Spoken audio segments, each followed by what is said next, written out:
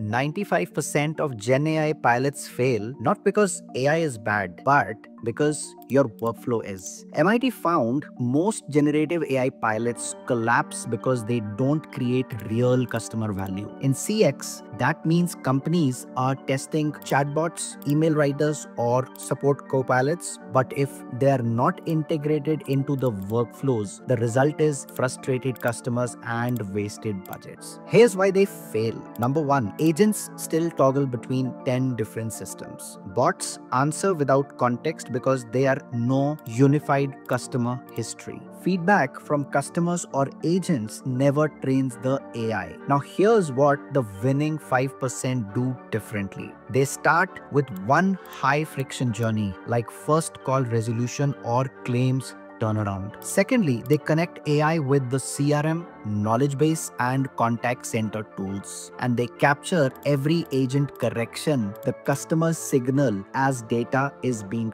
trained. They measure CX metrics like CSAT, which is customer satisfaction, NPS, Net Promoter Score, handle time, or deflection rate, not just chat volume. The bottom line AI doesn't fix CX, but when you redesign workflows around AI, you create faster resolutions, happier customers, and loyal advocates.